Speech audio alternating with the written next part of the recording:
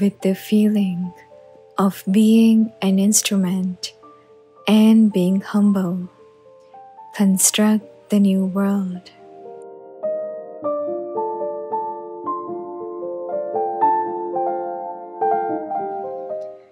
Have a far sighted intellect.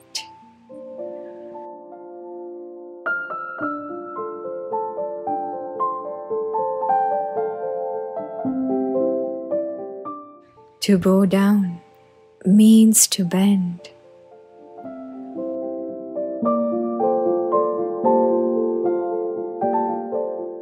When you bow down, then everyone will bow down to you.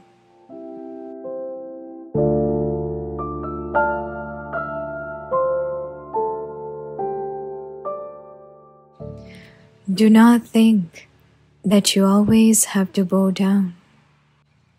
But no one has any regard for you, and those who do not bow down tell lies, and yet they are given regard. No.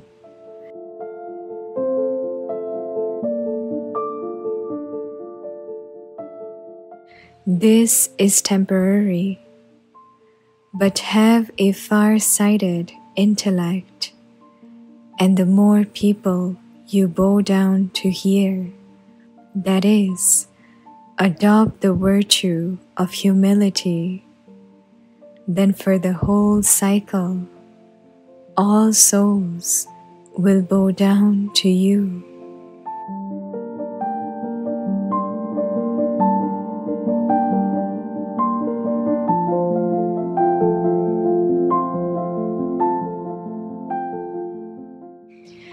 In the golden and silver ages, they will bow down to the king with their mind, and in the copper and iron ages, they will physically bow down.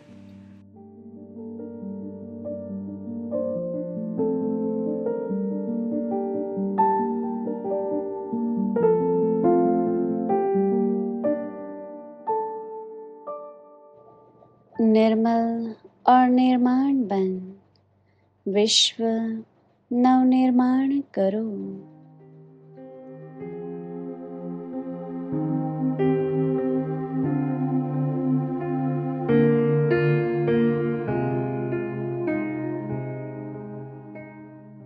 दौरान देश बुद्धि रखो।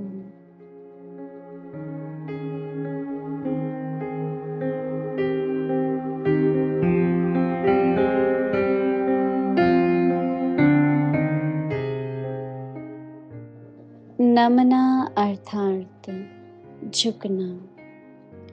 तो जब नमेंगे तब ही सब नमन करेंगे।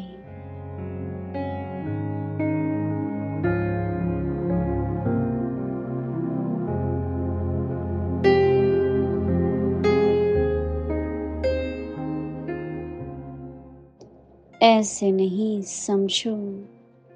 कि हम तो सदैव झुकते ही रहते हैं।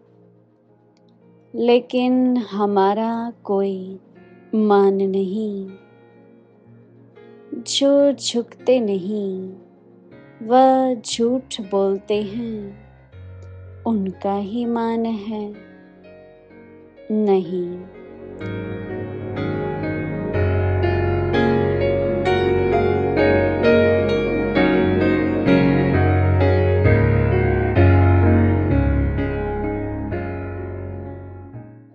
यह अल्पकाल का है।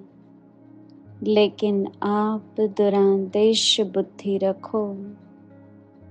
यहाँ जितनों के आगे झुकेंगे, अर्थात नम्रता के गुण को धारण करेंगे तो सारा कल्प ही सर्व आत्माएँ आपके आगे नमन करेंगी।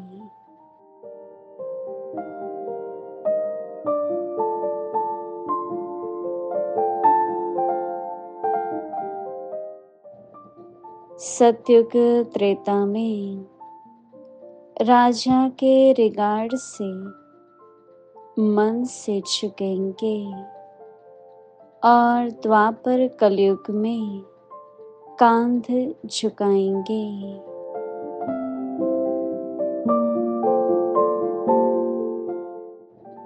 ओम शांति